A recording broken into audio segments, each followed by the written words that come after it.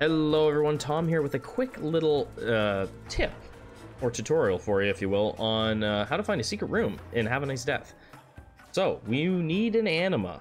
That is the top priority. And I'll show you here. I already went through here. This is how I found it. There's to be a lock that flashes on the screen. On the wall here. I don't know how long. There it is. You see the little lock, it goes up. I don't know if it only flashes if you're in a certain proximity to it or not, but as I saw it when, yeah, I saw it when I was up here, when I was passing through. I killed a couple enemies and I saw the lock flash. So we go over here, use the anima, and at a uh, unlocked room. And we have a prismium down below.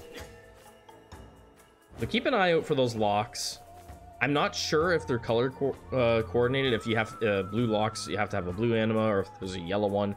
I've seen pictures of uh, yellow uh, locks before, so maybe that would be really neat if the yellow uh, has even better loot in it, maybe.